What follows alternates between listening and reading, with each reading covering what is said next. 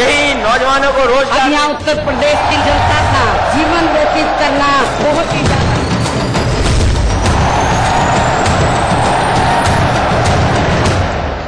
अरे पाँच साल बा के बाद गजब संचार भइल बा कुर्सी के।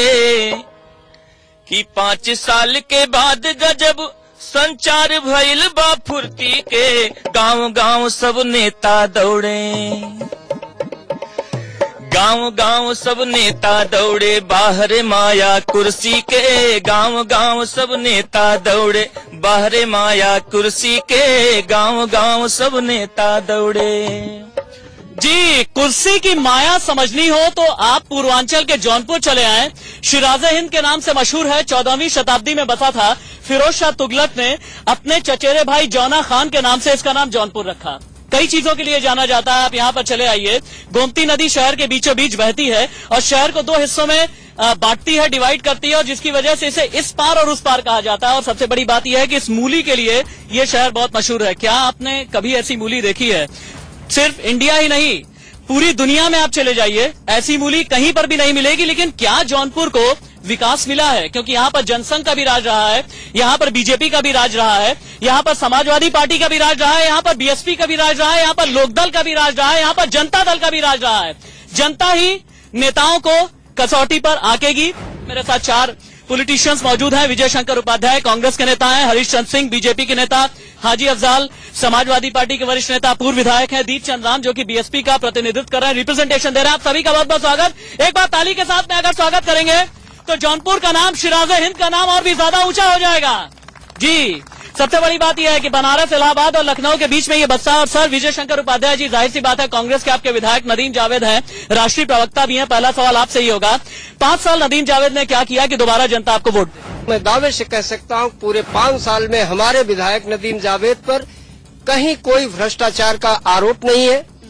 बिजली के पूरे इंफ्रास्ट्रक्चर आप शहरों में घूम के देख लीजिए, जवाहरलाल नेहरू अर्बन प्लान के सारे पैसे आकर के वो सारा इंफ्रास्ट्रक्चर नाली का सड़क का शहर का जो प्रोडक्शन है जो उत्पादन है जितना आपको पता है सर आपको पता है नाली और सड़क का हाल ये है। मैं आजमगढ़ से चला पूरे पूर्वांचल का दौरा कर रहा हूँ। खाना खा करके मैं चला था और आते आते सड़क पर इतनी बार मैं उछला कि मेरा खाना ऐसे ही गाड़ी में बच गया। आजमगढ़ से जौनपुर तक हाँ। की जो स्थिति है। शायद आपको पता है वो एनएच की सड़कें। मैं शहरों की बात करता हूँ विधानसभा जौनपुर की बात कर रहा हूँ। सर चौक से होते हुए आया हूँ सिपाह से होते हुए आया हूँ। आए हैं तो आपको पता होगा आपने देखा होगा काम चल रहे हैं बहुत तेज़ी से चल रहे हैं सड़कें बन रही है नालियाँ बन रही अंडर तो लेकिन नगर पालिका परिषद अध्यक्ष ही करवा रहे होंगे ना बीएसपी के जो है। सुरेंद्र सिंह यहाँ से विधायक हुआ करते थे एक जमाने में बीजेपी को इस शहर ने नकार क्यों दिया? देखिए तो लोकतंत्र है और लोकतंत्र में बदल होती रहती है। सुरेन जी का इस ज़िले के अंदर जो स्थान है वो दूसरा कोई भी नेता ऐसा नहीं जो सुरेन जी का मुकाबला कर सके। उनकी ईमानदारी उनका काम उनकी सारी चीज़ें हैं। और सुरेन जी को आज भी जन के नेता हैं। वो नदीम जावेद की तरह हवाई नेता नहीं है। सुरेंद्र सिंह जो है इसीलिए चुनाव हार गए हैं।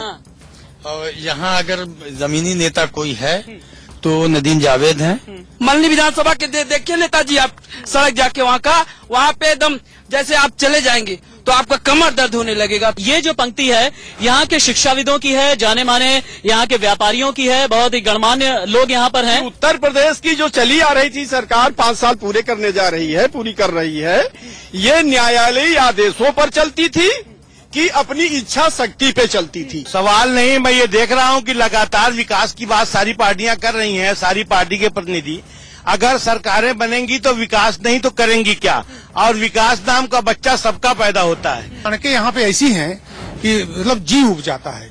दस किलोमीटर, पंद्रह किलोमीटर रोज निकलने में बहुत कष्ट होता है। और ये ये समस्या क्यों नहीं निपट पा रही? हम भी नहीं समझ पा रहे हैं। दस साल हो गए और लगातार खस्ता हाल सड़क है। और एक बात कही गई है ना, क्या करें वहाँ चंद्रमा का देश हम, जो अगम लगता हमारे पाँव को। और क्या करें? आकाश की वह राह हम, जो न जाती हो हमारे गाँव को। ठीक है हाजी अफजाल साहब, आप तो यहाँ के विधायक भी रह चुके हैं, समाजवादी पार्टी के वरिष्ठ नेता भी आप हैं। यहाँ की जनता का ये कहना है कि ईमानदारी से जो विकास होना चाहिए था, वो ईमानदारी से विकास किसी भी नेता ने किया नहीं। ये गलत कहते हैं, हमारी जनता को मालूम होना चाहिए, विकास जिसको भी मौका मिला, सबने किया है। और विकास के लिए कोई नेता ऐसा नहीं है जिसके पास जितना साधन था। विधायक निधि, पूर्वांचल निधि और गोमती एक्शन प्लान का भी पैसा आया और तमाम पैसा आता है डीआरडीए में। लेकिन जो आदमी की अपनी इच्छा शक्ति होती है। मैंने भी अपने समय में बहुत काम किया। हमने पेट्रोल पानी पे बहुत काम किया। हमने पूर्वांचल निधि से तमाम सड़कें बनवाई। सब नगर पालिका में इतना पैसा नहीं आता था। लेकिन जनता के बीच में जो दिखता है, वो बिकता है। जो आजकल आकर्षण की राजनीति है पाँच तो फांचूरर से चलो, तेरही खाने जाओ तो भी वहाँ मज़ा है। आपका आपका इशारा आपका इशारा किसकी तरफ़? गरीब नेता के बारे में बात इशारा तो बताइए इशारा तो बताइए। मैं उन नेता की कह रहे हैं जो फांचूरर से चल रहे हैं। फॉर्चूनर से कौन चल रहा है? दीपचंद राम जी यहाँ फॉर्चूनर से कौन चल रहा है? नहीं ये तो आपको स्वयं देखना चाहिए। फॉर्चूनर से तो लगभग सभी विधायक प्रत्याशी चल रहे हैं। आपने देखा होगा तीन बार से पिछले पंद्रह वर्ष से जौनपुर नगर में नगर पालिका का चेयरमैन बहुजन समाज पार्टी को हो रहे हैं। उन्होंने दिनेश दिनेश टंडन जी। दिनेश टंडन जी और वही इस बार प्रत्याशी हैं। पूरी जनता जौनपुर के उनके पंद्रह साल के कार्यकाल का जो नगर पालिका में किए हैं वो अब पूरे सदर में विधानसभा में करेंगे। मेरा प्रश्न है अफजाल भाई से कि नौ विधानसभा सीटों में हमने सात विधानसभा सीट आपको दे दिया।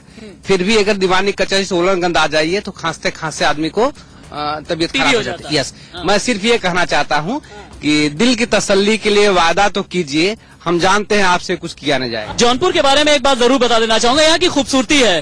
कभी भी धर्म के नाम पर ये शहर कभी भी बटा नहीं है चाहे वो छह दिसंबर से देखिए ये तालियाँ ये बता रही हैं ये आम जनता है। आप अपना सवाल कीजिए आप। जी मेरा सवाल जो है भारतीय जनता पार्टी के कि वो विकास के नाम पे चुनाव लड़ेगी या जो है राम मंदिर के नाम पे चुनाव लड़ेगी? और अगर उसे विकास या राम मंदिर में से किसी एक चीज़ को छोड़ना होगा तो किसे छोड़ेगी? तो ज्योति जी एक बार कुछ संगीत संगीत के साथ ही मैं इस प्रोग्राम को आगे बढ़ाना चाहूँगा।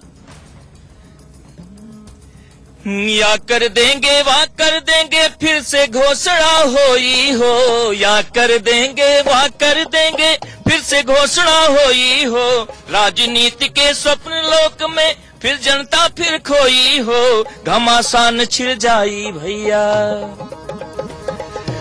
घमासान छिड़ जाई, आपन आपन इच्छा पूर्ति के। घमासान छिड़ जाई, आपन आपन इच्छा पूर्ति के। गाँव गाँव सब नेता दौड़े, बाहरे माया कुर्सी के।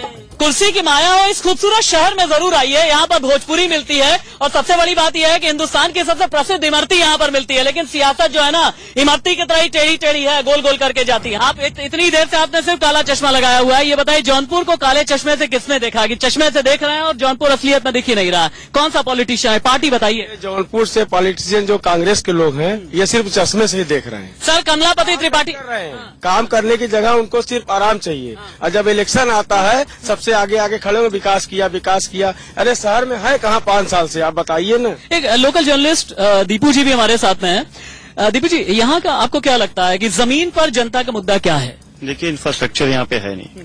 रोज़गार है नहीं। यहाँ पर्यटन के बहुत अच्छे अवसर हैं। लेकिन यहाँ पे जो भी जर्नलिस्ट और जो पूछता है सवाल राजनेताओं से वो कहते हैं कि हम ये करेंगे वो करेंगे। लेकिन हकीकत ये किसी ने कुछ नहीं किया। यही बनारस है यहाँ से साठ किलोमीटर दूर। इनकी बात से हम लोग भी सहमत हैं।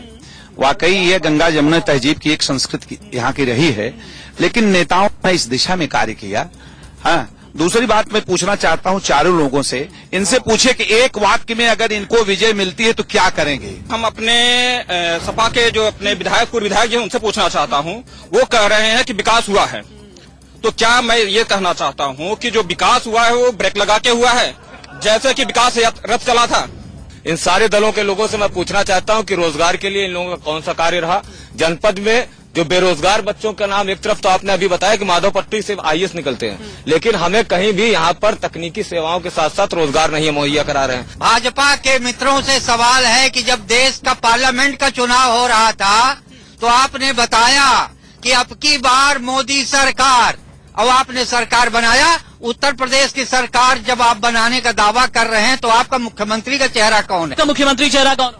देखिए भारतीय जनता पार्टी की पार्लियामेंट्री बोर्ड ने कहा है कि जब चुनाव हो जाएँगे और विधायक चुनेंगे मुख्यमंत्री हमारा कौन होगा? आ, क्या आपने कांग्रेस के सामने सरेंडर कर दिया ऐसा भी सिलेंडर नहीं किया है कांग्रेस हमारी सहयोगी है हमारा मुख्यमंत्री अखिलेश है। अखिलेश यादव के नेतृत्व में प्रदेश का विकास होगा लैंड ऑर्डर मज़बूत होगा। मायावती का एक मिनट नोट जो आई है तो पहले सुन लीजिए चकबंदी आई खेत कम हो गया नसबंदी आई आबादी कम हो गई नोटबंदी आई बिज़नेस चौपट हो गया भारतीय जनता पार्टी को नहीं आने देना।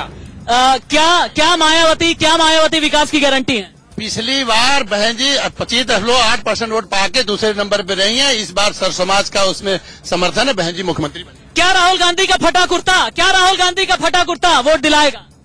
कांग्रेस का मिशन और विजन राष्ट्रीय और प्रदेश स्तर पर समाज में समरसता बनी रहे, आर्थिक विकास हो, देश में अमन शांति कायम रहे, ये कांग्रेस का मिशन है और विजन है। और कांग्रेस इसके लिए हर संघर्ष हमेशा कि में कवन जादू मंत्र, कवन भेद हो खेला।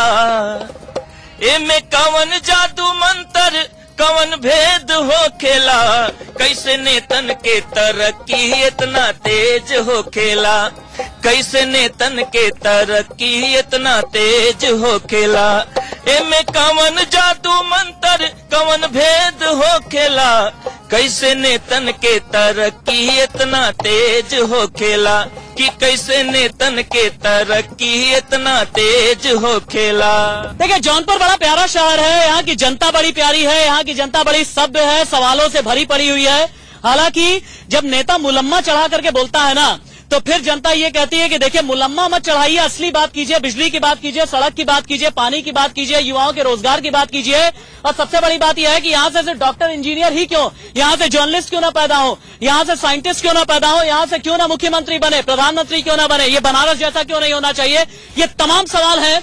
पूर्वांचल के सवाल है जौनपुर के सवाल है इन्हीं सवालों के साथ और उनके जवाब के साथ यहाँ पर छोड़ करके जाऊँगा। जनता ये फैसला करे कि कितने खड़े उतरे हमारे और आपके नेता। बाकी खबरों के लिए आप देखते रहिए इंडिया न्यूज़। नमस्कार। उत्तर प्रदेश में परिवर्तन की आंधी राजनीतिक जो जानती है कि अगर लड़ाई नहीं हुई समाजवादी लोग जिस रास्ते पर प्रदेश को लेके जा रहे हैं यही नौजवानों को यहाँ उत्तर प्रदेश की जनता का जीवन व्यतीत करना बहुत ही